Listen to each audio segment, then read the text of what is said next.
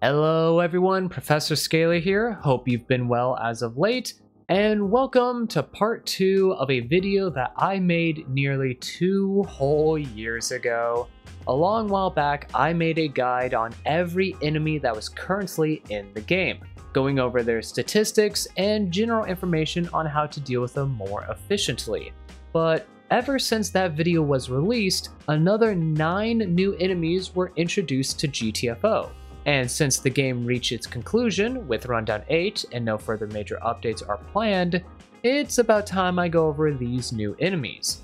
Just like I did back in part 1, I'll be showing enemy stats like their health, how much damage they do, as well as a few other things. And of course, I'll be sharing information on their general strengths and weaknesses and what's important to know about them. Now, if you haven't seen my first enemy guide where I go over the other 20 enemies of the game, I highly recommend you go watch that first, as this video is only going to be covering the enemies that were first introduced with Rundown 7 and Rundown 8. So these are enemies you're only going to be seeing much further into the game, which of course means I'm going to be showcasing major late game spoilers in this video. But preface and warnings out of the way, not much else to say, so let's start analyzing these brand new threats.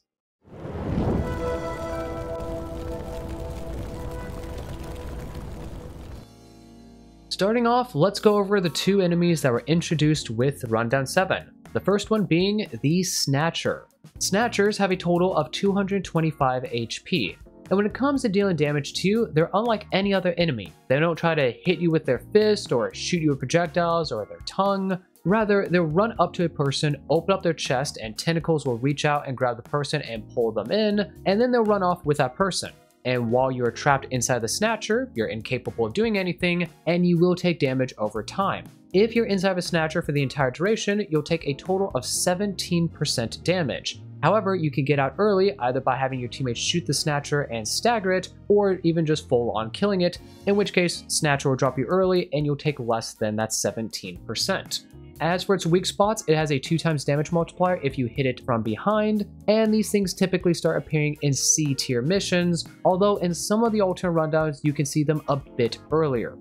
Now, when it comes to dealing with the Snatcher, in of itself, it's not that big of a threat. If the Snatcher is the only thing you're trying to kill, it's pretty easy to deal with them as it'll run away for a while, come back, and then you could just shoot from a distance. And even if it does grab somebody, 17% damage isn't all that much and the Snatcher does leave itself pretty vulnerable while it's grabbing that person and then getting back down on all fours and trying to run away. And while it's running away, you have a very easy line of sight to its back for that juicy 2 times damage multiplier. However, if you're on your own and isolate from your team, Snatcher can be pretty annoying as there's a good chance it will just grab you before you can really do much to it, because its head region is actually immune to damage, so trying to shoot these things from the front if you don't have higher ground can actually make it so most of your shots aren't going to do any damage whatsoever. So the best way to combat against a Snatcher is to stay at least in groups of two, and also have weapons that can do a lot of damage very quickly things like shotguns or the scattergun because you could very quickly kill these guys while they're rearing up to grab somebody or again after they grab somebody start running away by just pumping a few shotgun rounds into it. But be a little bit careful because if you shoot too much, there is a chance you might accidentally hit your teammate as they're dropped off. So make sure you're doing damage quickly, but don't be too trigger happy, otherwise you might be killing more than just that snatcher. The other enemy introduced with Rundown 7 would be the Immortal. Immortals have a total of 1 billion HP, which means there is no actual way to kill these guys. When it comes to their other stats though, they will do a total of 32% damage if they melee you, and 14% if they hit you with their tongue attack. Weak spots, they have none whatsoever, and the only time they really appear in the game would be inside of R7E1. They do technically appear a little bit in Rundown 8, but that's a bit of a special scenario. Now, since you cannot kill the Immortal, the only way you can really deal with it is by distracting him. And that's how you play R7E1. You just simply have three people do whatever they need to do, clearing out zones, grabbing resources, or whatever it is, while one person is distracting the Immortal the entire time. And even though it is quite similar to that of a tank, it does have a few key differences. Specifically, it is nowhere near as aggressive, so it's not going to be rushing you down or trying to lick you from 10 miles away. Rather, it'll kind of just awkwardly walk after you as long as you keep line of sight with it, and if it does happen to get a little too close, then it'll try to lick you, or if you get a bit too far away from it, it will pick up the pace a bit, but once it gets a bit closer, it will once again slow down. So the easiest way to deal with them is just have one person who is designated to deal with them and just keep your distance. Make sure you don't break line of sight because if you do, there's a chance he'll go after somebody else on your team and he'll run off pretty quickly. But just find a good area where you could kite around for quite a while and just keep backing up without letting him actually get any cheap hits in on you and just distract him until your teammates need you for something else. When you do get to those situations where you all have to stick together, then the best thing to do is just deal with any of the other enemies that are alive because those you can actually kill and then when it comes to the Immortal, just make sure you're not getting hit by him left and right. Keep some distance between you and him, and if you do have to stand in an area, try to get behind a structure or something, or maybe just have one person face tank a little bit of his tongue attack. That way he's not running up and trying to melee everybody while they're standing on a security scan. With the two Rundown 7 enemies talked about, let's now go over the Rundown 8 ones, starting off with the Zoomer Scout. Zoomer Scouts have a total of 33 HP. They deal 4% damage with their projectiles. I believe they'll shoot them out 3 at a time. They have a 2 times damage multiplier if you hit them to the back, a 3 times damage multiplier if you hit them to the head, and a 6 times damage multiplier if you hit them to the occiput. And because I got asked this a lot in my first enemy guide, the occiput, for those who are unaware, is specifically the back of the head. As for its first appearance, it will first appear in Rundown 8B1, and you can see it in a few of the levels afterwards. Now, when it comes to dealing with Zoomer Scouts, it is quite similar to that of a regular Scout, but there are a few key differences, which some make it a little bit easier to deal with them, and some make it a little bit more challenging. The first key difference is the HP. A regular scout has 42 health, but Zoomer scouts only have 33. And because it's 9 HP less, it's easier to kill it with certain guns, as you can maybe go for a front of the head shot instead of a back of the head like you typically would have to, and even your melee weapons have a little bit of an easier time. Or at least one of them does, and that would be the bat. With a regular scout, you have to do a fully charged hit to the back of the head to kill with a bat. But with Zoomer scouts, due to that reduced HP, a fully charged hit to anywhere on the head will kill it. Knife players, you're still going to have to go for the back of the head, but just slide right into it as you stab and you should be good. The other things to take note when it comes to differences is biotracker tags only last on Zoomer scouts for 30 seconds, unlike normal scouts which is 60, and the big one you really want to be careful of would be those tentacles, because I'm sure there are many of us out there who love to just run through regular scout tentacles because we're going up for it, we're going for the melee hit, we're going to touch some tentacles, we might even try to touch as many as we possibly can, and if we time it right, we might even hear that sweet little whipping sound effect that tentacles do as they come back in, but hey, we land the shot anyway, scout's dead, we don't have to worry about it. Trying to pull that off though with a Zoomer Scout is a lot more dangerous, because regular Scouts, once you touch a tentacle and it turns red, it takes one full second before the Scout goes immune.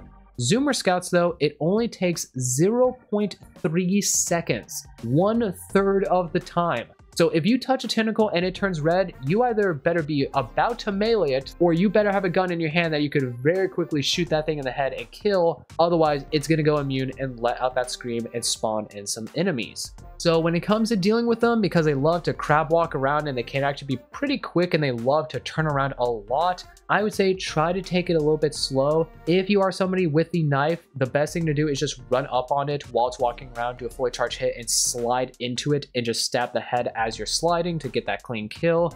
Other melee weapons, you kind of rush up on it and just hit it on the head or let it come to you. Just again, be aware that the moment you touch a tentacle, you need to kill it quickly. If you want to, you could always just simply shoot it. Just be aware of the other enemies that are in the room that are going to wake up because of your gunshot. Throughout this game, we've seen quite a few different enemy variants, and with Rundown 8, we got a brand new one. The first one on the list being the Nightmare Striker. Nightmare Strikers have a total of 37 HP, they deal 16% damage with their melee, and they can punch you a few times in quick succession. They deal 8% damage with their tongue attack, and they have a 2 times damage multiplier both to their back, as well as a 2 times damage multiplier to their tumors, which if you do hit them in the back tumor, you get both damage multipliers. As for their appearances, they first show up on the scene when it comes to R8B1, and they'll show up in a few other missions afterwards. Now, Nightmare Strikers. If you recall way back, I said Chargers were pretty much a regular striker, but even better. Nightmare Strikers are effectively Chargers, but even better more so, because these things are absolutely terrifying. Not only do they have more HP than that of a regular striker, even more HP than that of a charger, but they can dish out a lot of damage quickly. Making an exact comparisons to regular strikers, normal strikers have 20 HP, and their tongue does 12%. Nightmares have 37, so almost twice as much, and even though their tongue attack does 4% less damage, they can actually punch you for 16, and if they get right on top of you, it's quite easy for them to punch you two, maybe even three times within the blink of an eye, and if that happens, you're taking 32, potentially even 48% damage. And that's only accounting for one of these things getting on top of you. If you get two or even three right next to you, you could be at 100% HP and you might be flat on the floor before you even know what hit you. That's how dangerous these things could be in larger packs. And to make things even more terrifying, if you're someone who figures, oh, no big deal, I'll just stagger them and keep them at bay, well, unless if you have a Hell Auto pistol or some other gun with a ridiculously high stagger multiplier, I wish you luck, because these things have a stagger HP of 20. Most other enemies like Strikers or Shadows or even Chargers, they have a stagger HP of 5 or 6. Giants have a stagger HP of 40. So these things are about half that much of a giant, but four times more than that of a regular striker. So you have to put a whole lot more damage into these guys to even get them to stagger in place, and they don't stagger for that long. If you're dealing with just a couple of Nightmare Strikers, it's really not that big of a deal. You kind of just treat them like regular Strikers. Big difference being that since they don't have a head, you're just aiming for the tumor on its stomach instead. But if you have to deal with an alarm that's spawning in a lot of these guys, or you wake up a room that has 10, 15, or even 20 Nightmare Strikers in it, you need to keep your distance keep falling back and deal damage to them from afar and having weapons that can pump out a lot of damage quickly or pierce through enemies or stagger enemies like crazy are the best type of guns to have when it comes to dealing with these guys. We had Nightmare Strikers, so of course we also need to have Nightmare Shooters.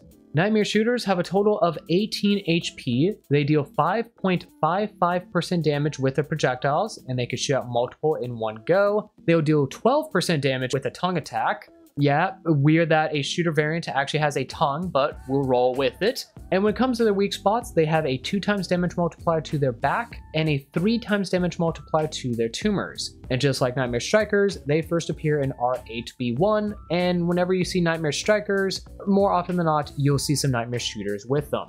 Now, Nightmare Shooters are kind of similar to that of regular shooters. They have a bit less HP. Instead of 30, they only have 18. However, a thing to keep in mind is that regular shooters have a pretty high damage multiplier when it comes to their head. And because Nightmare Shooters don't have a head, you don't have that damage multiplier. And while the damage multiplier to the tumor is quite nice, it's not quite as much as it is for, again, a shooter to the head.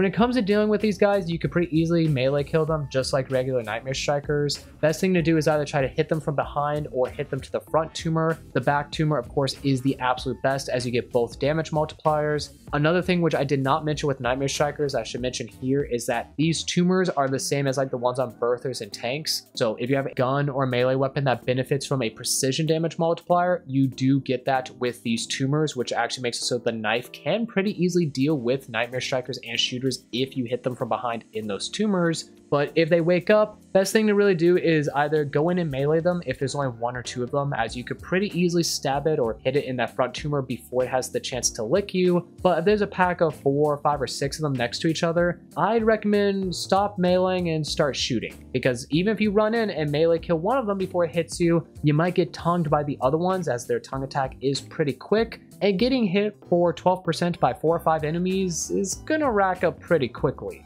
And that's really all there is to the Nightmare Shooters.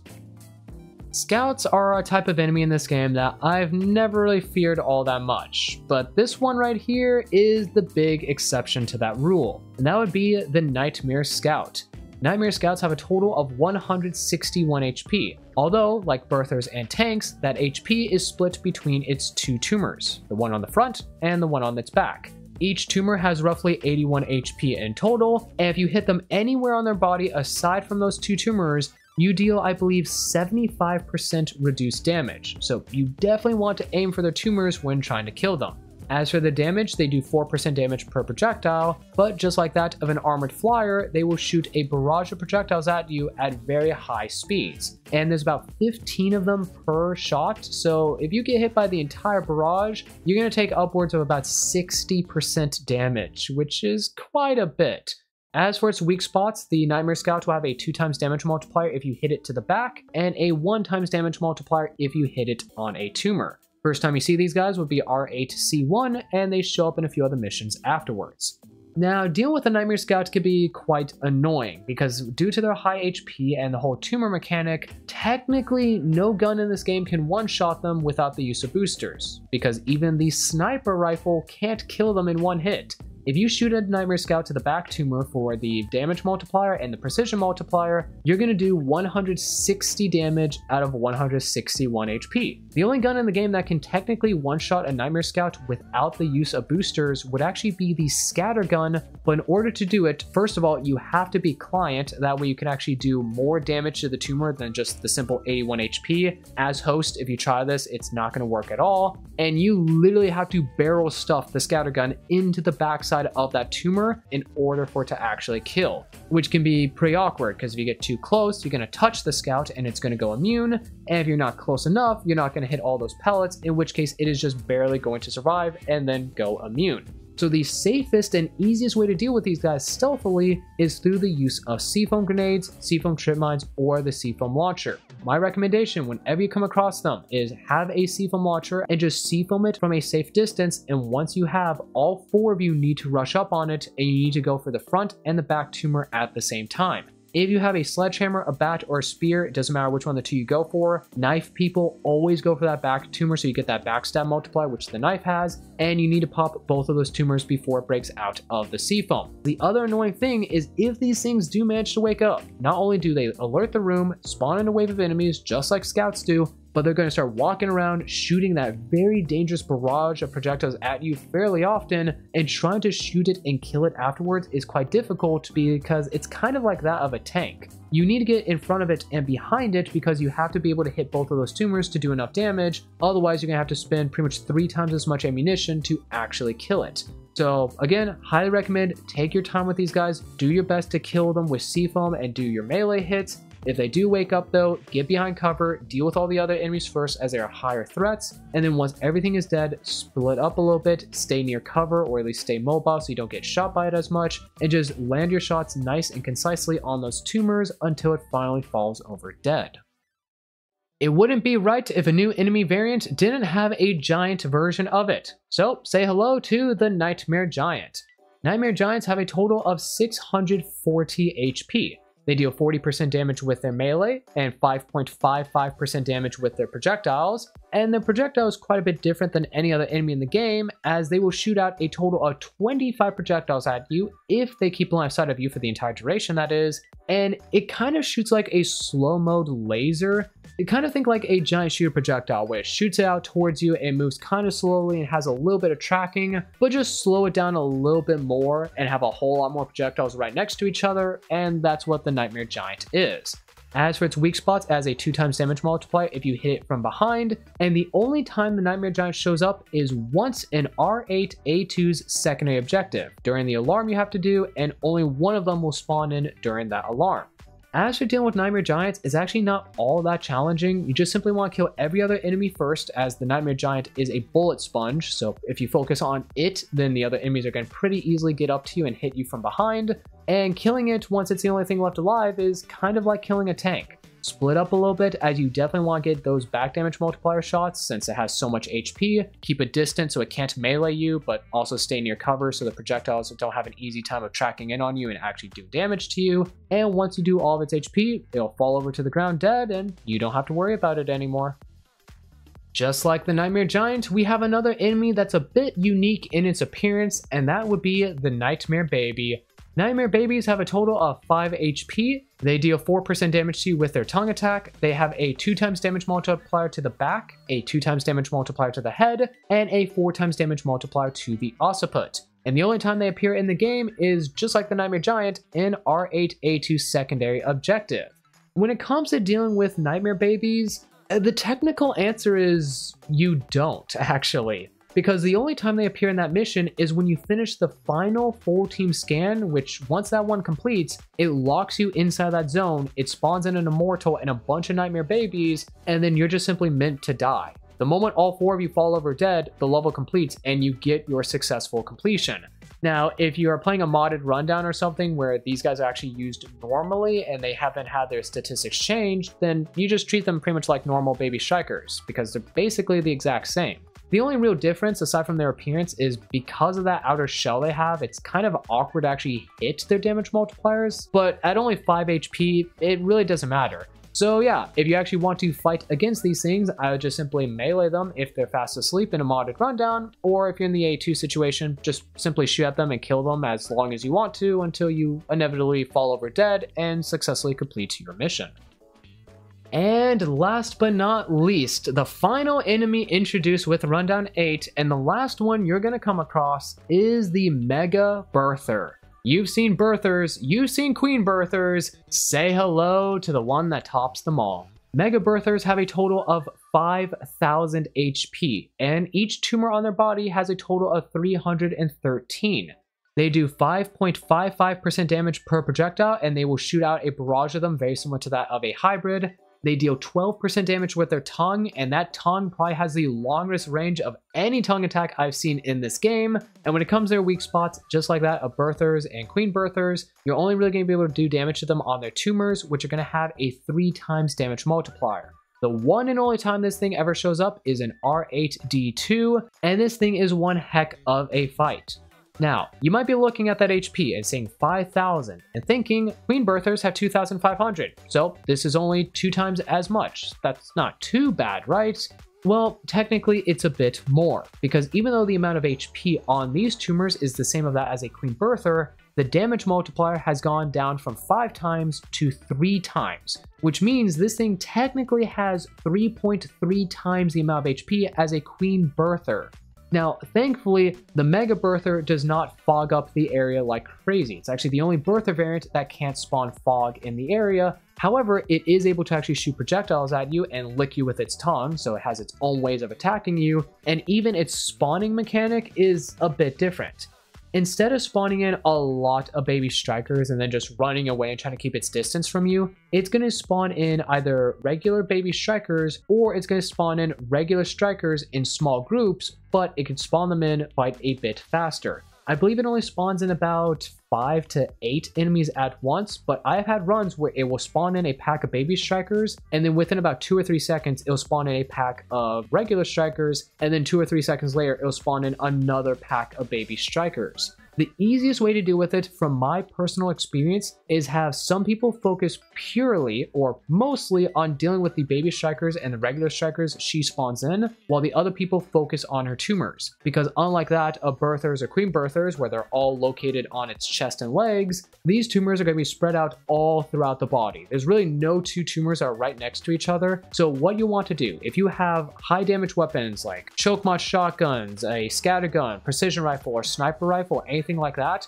focus on popping those tumors and just going from one to the next and getting rid of it as quickly as you can. If you're somebody with things like maybe combat shotguns or pump shotties or machine guns or hell guns or hell rifles or just guns in general that are better at clearing out weaker enemies, you're going to want to focus on the regular strikers and the babies. And also, because this boss has so much HP, this fight is more than likely going to go on for a little while. So I would say hold on to ammo packs and med packs and resupply yourself halfway through the wave. If you're somebody who's focusing on the enemies she spawns in and there's currently nothing to shoot, give yourself health or ammo if you need it, or give it to your nearby teammates and just resupply them but assuming you can keep the spawns down low and she's not overwhelming you with a ton of enemies, this fight overall isn't too terribly difficult if you go into it with a fair amount of resources. And also, try to stay a little bit mobile. That tongue attack, she doesn't do it too often, and if you get hit a little bit here or there, but it's not too big of a deal. That projectile barrage attack, though, can do a lot of damage very quickly, so don't stand in place if you are shooting the tumors, otherwise you can end up dead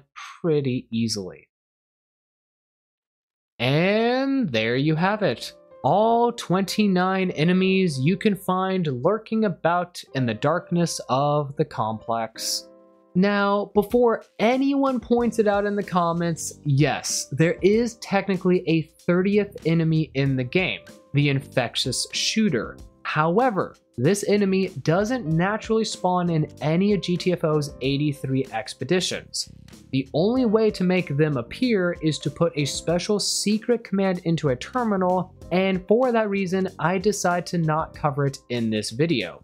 Although I am working on a video that showcases all the hidden commands that 10 Chambers sneakily added into GTFO after Rundown 8's release, which if things go according to plan, that should be the next video I release after this one. So if that's something that piques your interest, then perhaps consider subscribing to the channel and turning on notifications so you'll know exactly when that video releases and you can check it out then. As always though, thank you for watching this video. I hope you enjoyed it and learned some new things that you can utilize during your expeditions to make your runs a little more successful. If you did enjoy it, then please consider leaving a like on the video itself. It tells me you enjoy this type of content, and it helps the video get noticed by other people who might be in need of its information. Until next time, good luck in your runs. I wish for you to be blessed with good scan RNG and an abundance of resource packs, and I will hopefully see all you wonderful people back in the next video.